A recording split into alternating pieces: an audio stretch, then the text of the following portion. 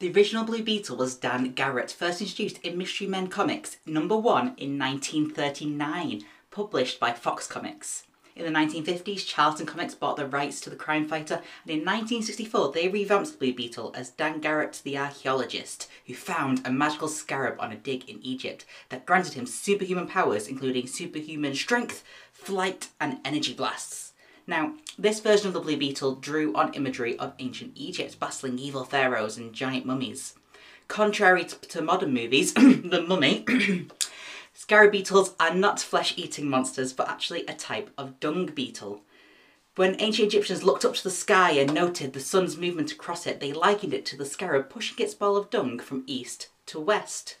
To actual ancient Egyptians, the scarab represented Khepri, the beetle-headed god of creation, the movement of the sun, and rebirth. The scarab was also a symbol of resurrection and regeneration, which is fitting for the Blue Beetle, a legacy character notable for the deaths of Dan Garrett and his successor, which I'll talk about more next time.